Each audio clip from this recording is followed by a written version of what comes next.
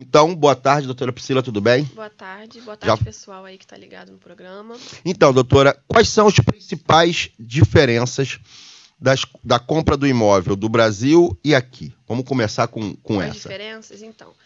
É, no Brasil, de modo geral, a gente tem. Eu estou falando sobre financiamento, tá, pessoal? Ou É, vamos falar compra sobre de imóvel financiamento. parcelado. É. Eu não estou falando à vista, porque a vista é igual em todo lugar É, do o pobre, o pobre, Você o pobre, chegou- pro pobre, pro pobre, pro Você- pobre igual a mim que não tem, tem que financiar, né? Lá era a Caixa Você Econômica Federal. com dinheiro e vai lá, compra, faz a escritura, acabou. É. Só tem que verificar se a documentação do proprietário é, é, tá em dia, se não tem nenhum embargo sobre o imóvel, mas tira certidões, você compra e acabou.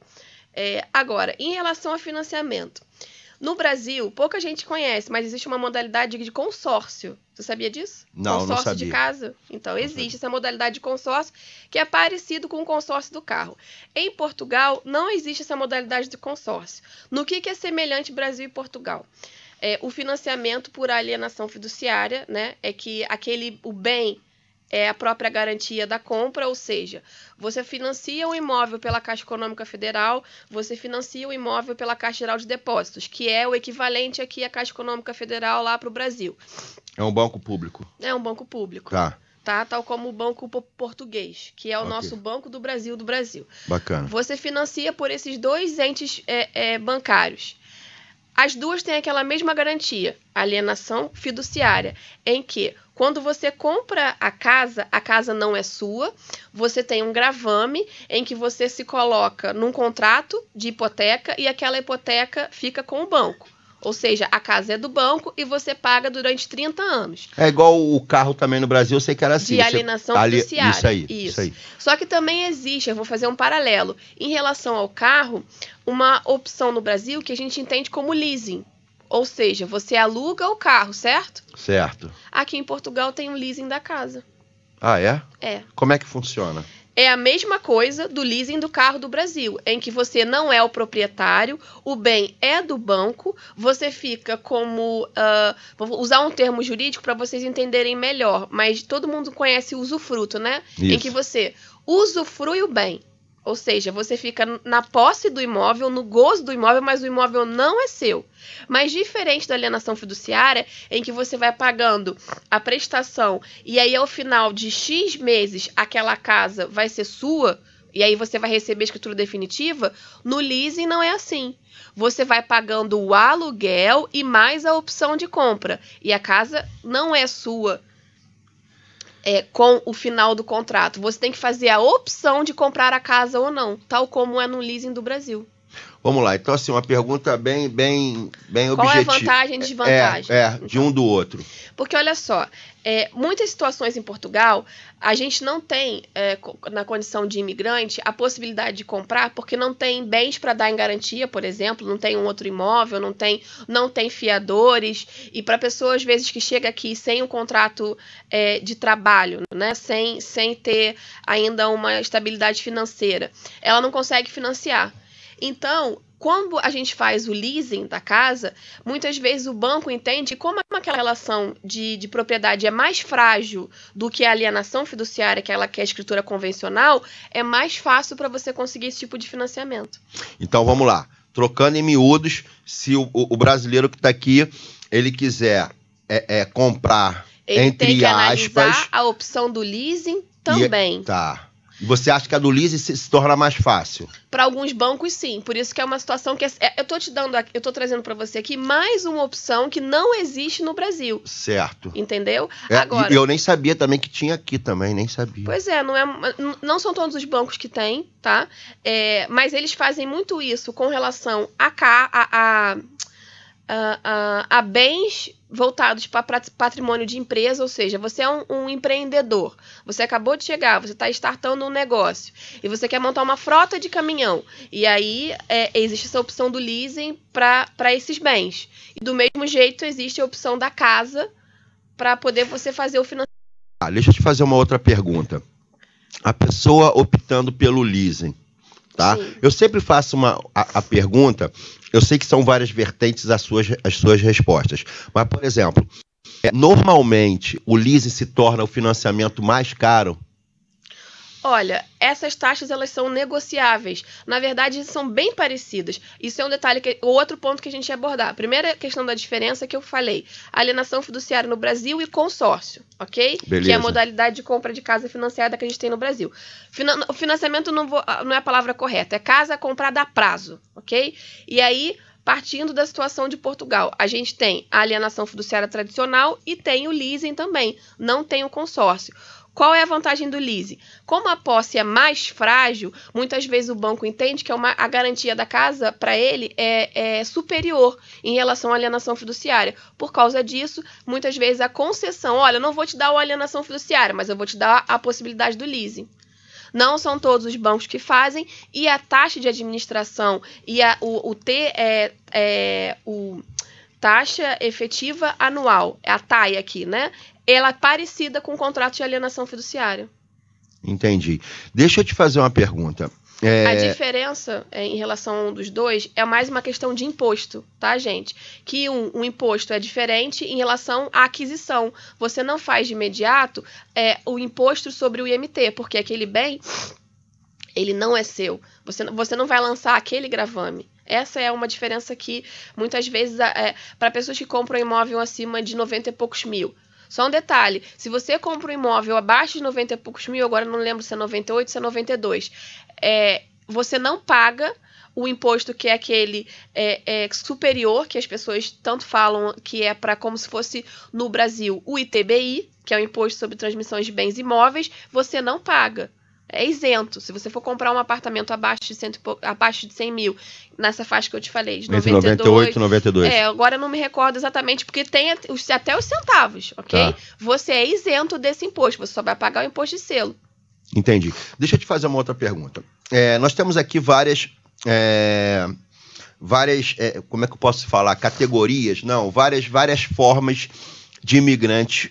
Vou falar do imigrante brasileiro, que é, que é basicamente o nosso. Perfil. É, é.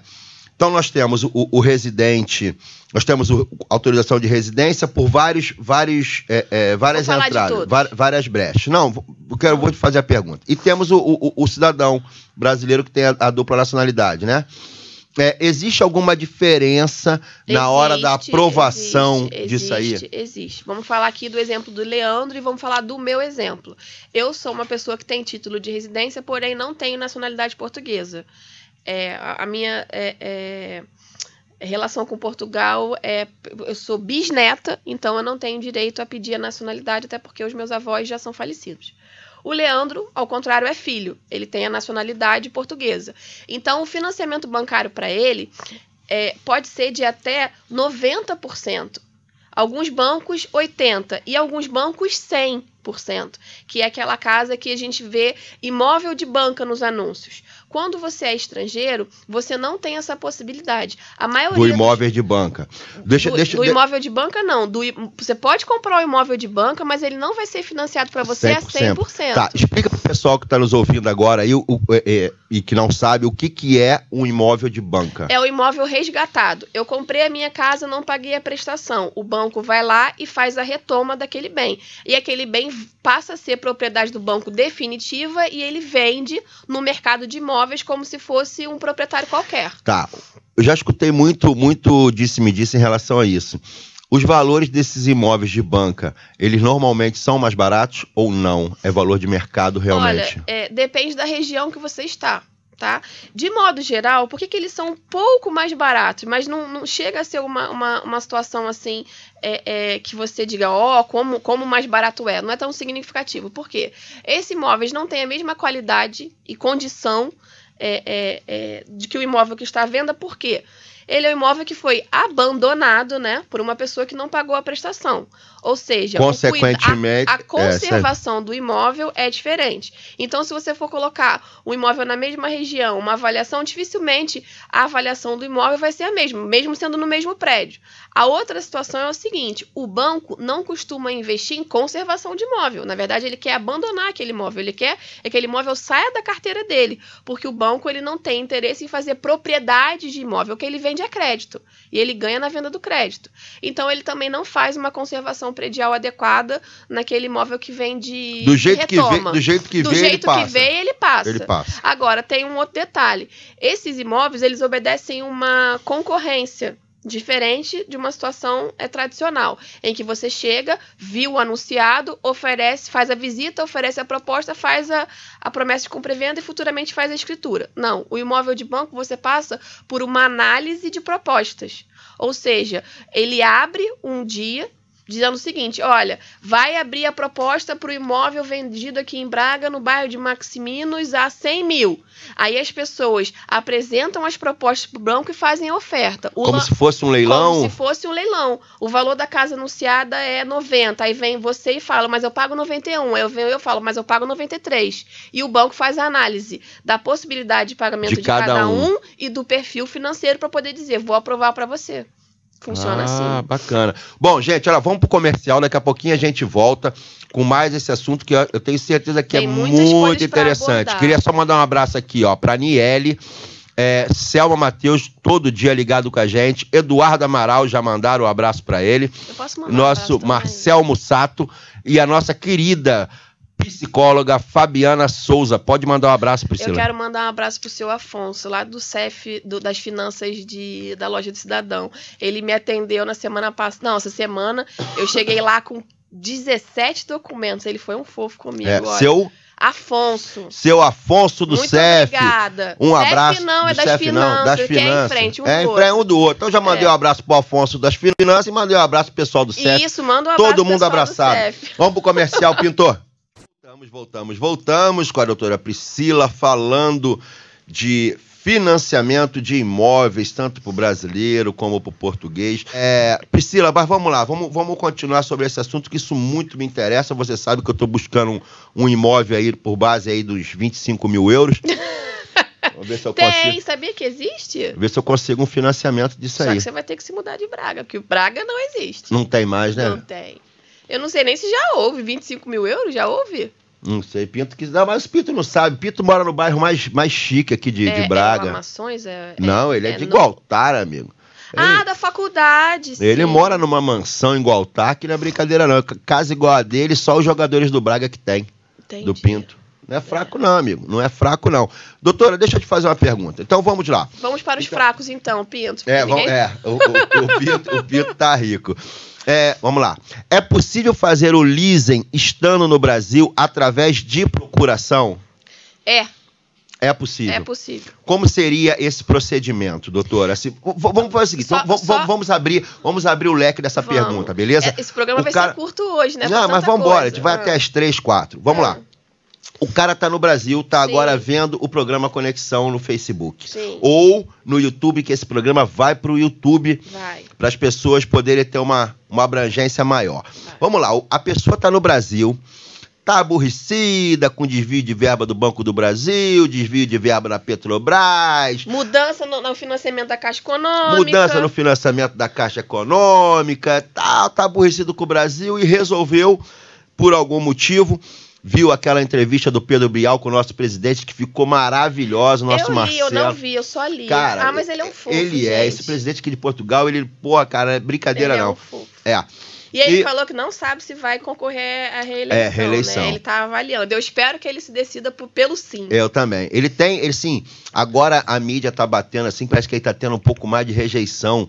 Ele tá com 82% de aprova é, aprovação. Exato. 82%, cara. Mas não tem como você não gostar dele. Você é, conhece ele é um fofo. apaixona. Ele é um fofo. Mas vamos lá. É, aí então a pessoa tá lá no Brasil, tá pensando em se mudar, escolheu Portugal, legal. É, todo mundo tem acompanhado é, a dificuldade que está para arrendamento, tanto para o português quanto para o brasileiro. Eu já abordei isso é, em, é em Portugal, em, no geral. Eu não estou falando de Braga, onde eu vivo, mas estou falando no geral. Uhum. Aí a pessoa, pum, eu quero comprar um imóvel em Portugal. Pode. Vamos lá, como é que seria Então, deixa eu só explicar para vocês o seguinte: não está restrito ao leasing, porque, como eu falei, o leasing é uma posição restrita para alguns bancos, não são todos os bancos que têm essa modalidade de financiamento. Alguns bancos só oferecem a modalidade de leasing para empresas, não oferecem para pessoa física. Tá, então isso e não é uma regra. Não, não, não é uma regra, não. O produto existe. Não, mas não é uma regra de todos os bancos. Ah, Por não, exemplo, não você é... pode ir num banco não, e, a análise do banco, ele trabalha ou não com o produto. Tem banco que tem, tem banco que não certo, tem, certo, ok? Certo. Além disso, as as, é, é, ofertas é, das condições são diferentes de banco para banco. Ah, eu tenho, mas o leasing é no Santander é de um jeito e no Milênio é de outro. Então, para ficar atento para isso. Mas o mais importante é o seguinte: o processo de leasing é possível estando no Brasil? É. Só que você tem que fazer a análise se você vai conseguir fazer a abertura de conta, porque pouquíssimos os bancos permitem o contrato é, é, de é, início né, da relação bancária e é uma exigência, você precisa ter uma conta naquele banco para fazer o financiamento, seja de leasing, seja para fazer a compra, de venda, compra e venda normal. É, em que você faz a, a, a abertura de conta por meio de procuração. Isso é um serviço que eu ofereço na, na, minha consultoria. Só que nem todos os bancos aceitam. Então, se a sua proposta é vir a Portugal e comprar uma casa. Deixa eu te interromper. Primeiro passo, então, é abrir uma conta no banco. Primeiro passo é abrir uma conta Deixando no banco. Deixando claro que não são todos, todos os, bancos, que, que aceitam abertura de conta por procuração. Ok. Beleza, okay? ficou claro então, isso. Vamos ficou lá. Ficou claro isso. Então vamos seguir. É, por que, que eu acho uma vantagem você comprar o imóvel quando você ainda está no Brasil? Primeiro, quando você chega a Portugal e você está em busca de uma oportunidade de emprego, por exemplo, independente se você acabou de conseguir o um emprego ou não, você não vai ter ainda o IRS, você vai ter que ter só no próximo ano. Ao passo que quando você está no Brasil, você já tem todo o teu histórico financeiro no Brasil que você pode apresentá-lo a Portugal e você está empregado. Você está trabalhando no Brasil, então você tem a sua renda, tem o seu imposto de renda. Além disso, quando você chega em Portugal, você muitas vezes não vai ter a renda que você tinha no Brasil. Acho que vocês têm que perceber o seguinte: o salário mínimo aqui são 600 euros, ok? Muitas pessoas ganham por volta de um salário mínimo. Então, uma família que o casal sustenta a casa, a renda não vai ser superior a 1.300 euros por mês.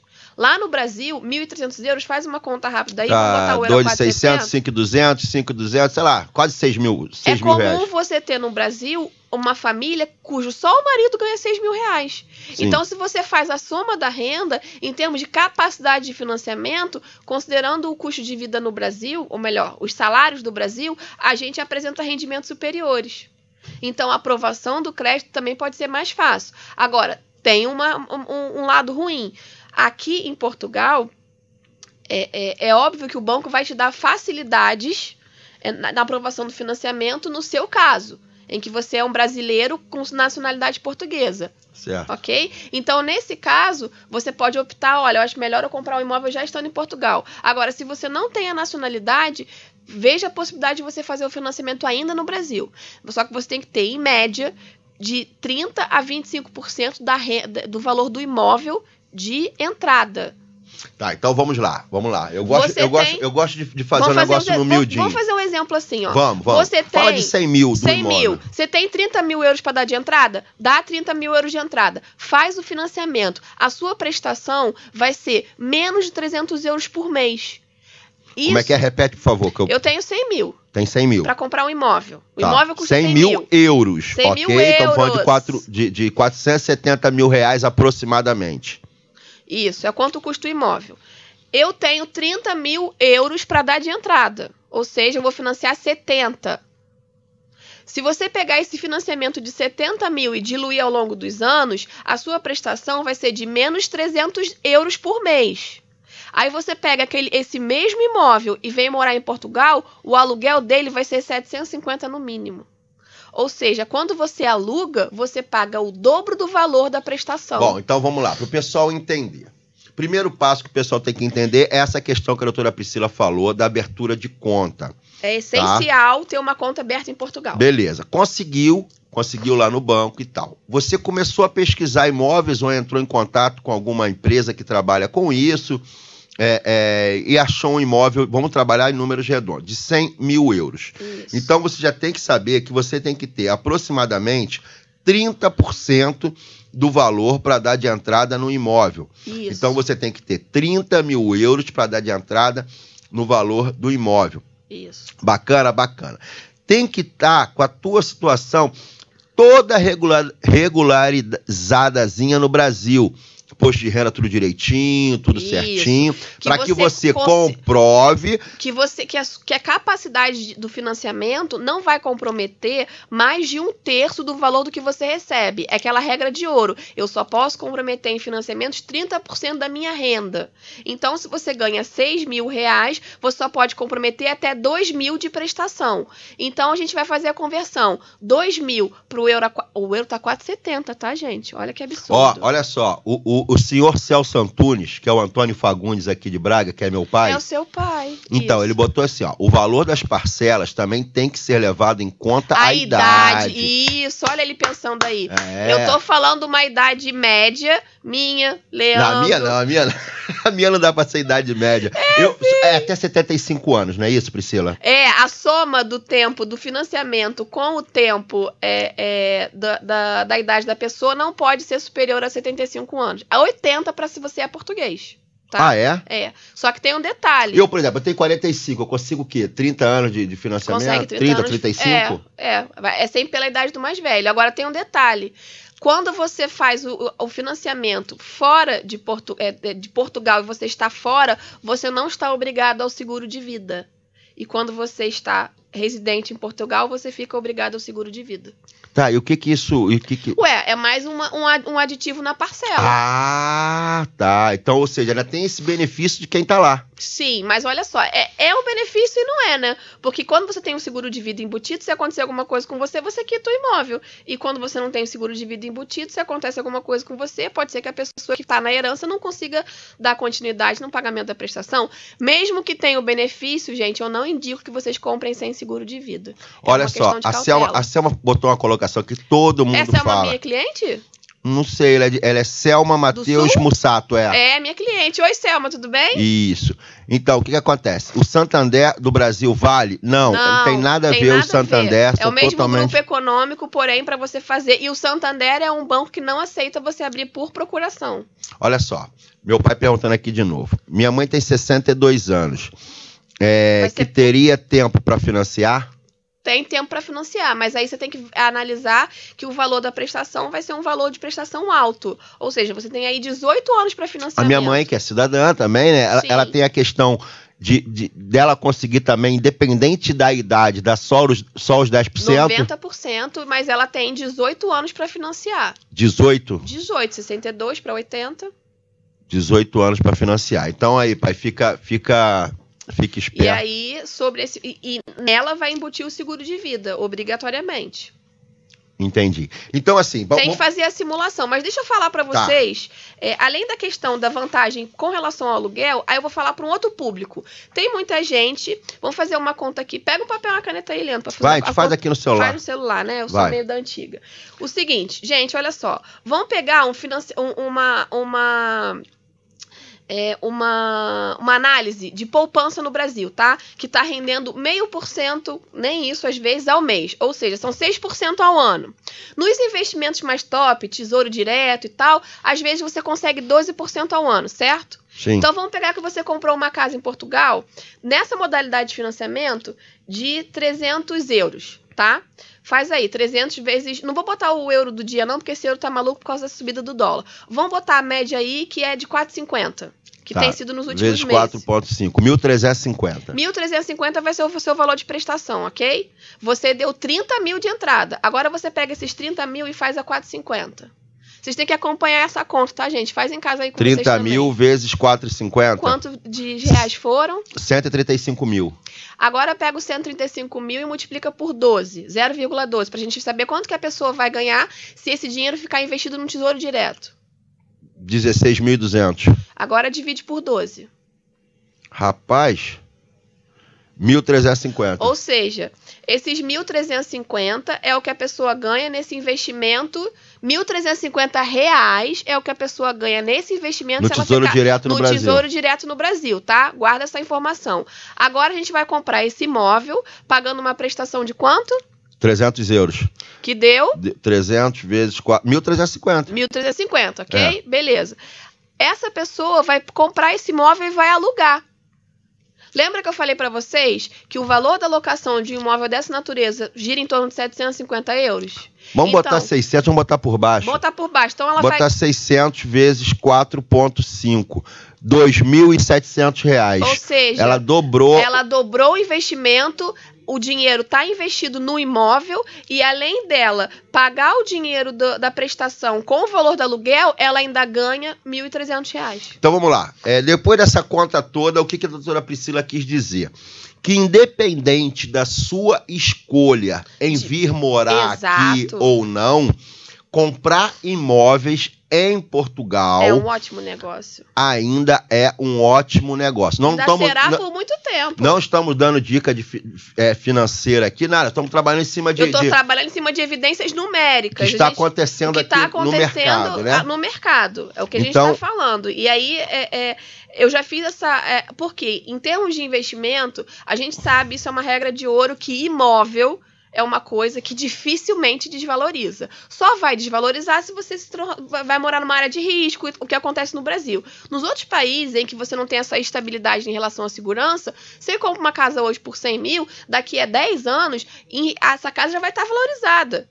Então, não só por uma questão de inflação, por uma questão de que o imóvel está sempre valorizando. Então, você tem um patrimônio, você consegue ganhar dinheiro com esse seu patrimônio mensalmente. E aqui, a gente, isso que é mais importante, doutora, mas se eu comprar a casa e não conseguir alugar, não existe isso em Portugal. Falta é, imóvel é, tá para e por alugar. E por isso, e por isso os valores de arrendamento aqui estão, estão altos. É a lei da oferta e da procura. Não tem, tem muito mais procura do que oferta.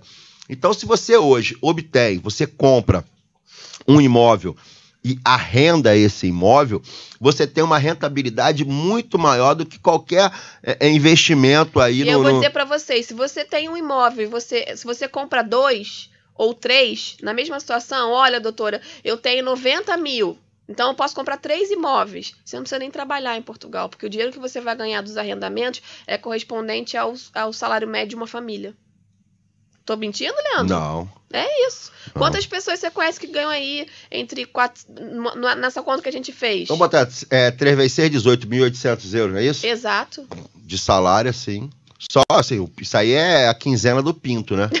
O Pinto, só a quinzena dele é 1.800 euros. Deve bater um salário aí dos pois 4 é, mil dá euros. Pra você viver. Então, as pessoas que são aposentadas, que têm, é, que têm imóveis no Brasil. Ó, a galera não tá entendeu. Priscila, a galera não, não entendeu. entendeu. Olha só, o seguinte: o banco que, ela, que a Priscila tá falando que você, tem que abrir a conta, não necessariamente tem que ser um banco do Brasil e um banco em Portugal. É um banco em Portugal. Não tem que ter ligação Isso. uma coisa com a outra.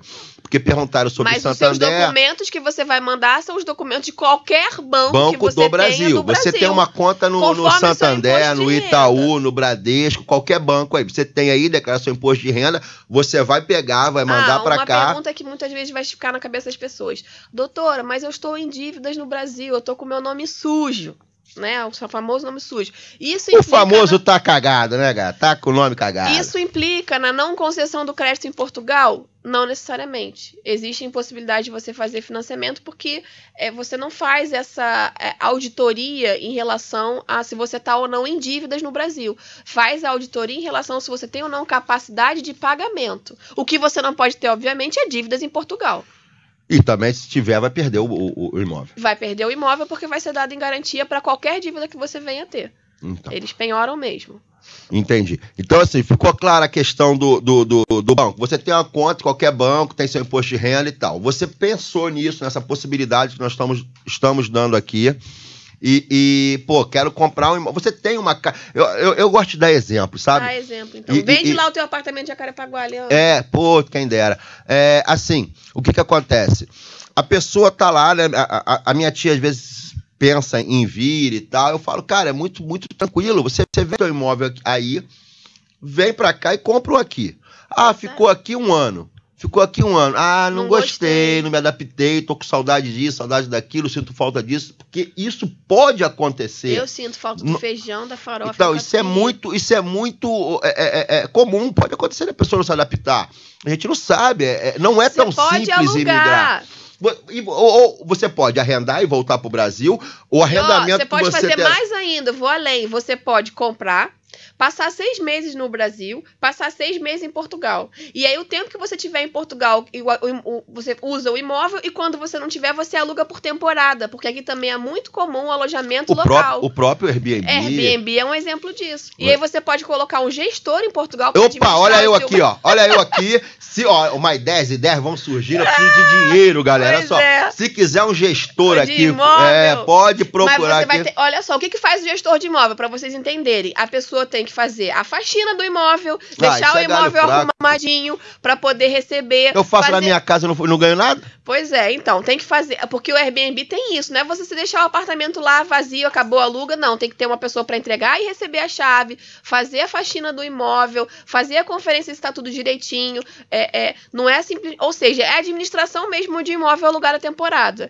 Aí o Leandro está se candidatando aqui para administrar os é, imóveis é, quem de quiser, vocês, quem tá? tiver com a grana. Então é o seguinte, galera, o, o, o assunto hoje foi muito legal. E tem tanta coisa ainda, a gente pode é, marcar uma, um uma outra, dia. Uma outra, E eu vou pedir para vocês, ó, sugestões é, de pauta, porque a gente aqui pode falar sobre o que vocês tiverem mais interesse. E, e os assuntos são é, é, variadíssimos. Ah, mas é, é, essa de hoje foi top, Priscila, porque é o seguinte: tem, isso aí abre o leque para muita coisa. Abre o leque para pessoa que quer vir morar, Sim. abre o leque para pessoa que quer investir, abre o leque para os próprios portugueses que estão aqui pensam em fazer alguma coisa a nível de investimento. Sabe? Foi, foi muito, muito legal.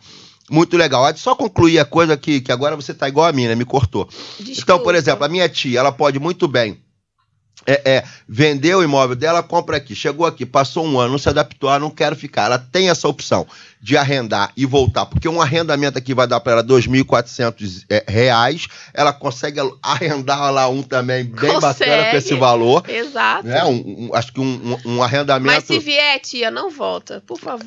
Rio de Janeiro não tá bom para ninguém, sinceramente. Então, assim, é, é, então tem essa opção. Ou, ou de repente você chega aqui, como tem muita procura, você vende teu imóvel aqui e volta para lá. Os imóveis aqui estão vendendo assim, ó. É. Não é? Na verdade, não é nem em duas semanas, é em meia hora. Você é. chega lá. Anunciou o imóvel, Exato. pum, pum, vende. Que anunciou? Você não precisa nem anunciar. Só você fala para um, fala para outro. A imobiliária chegou, não anuncia nem o imóvel.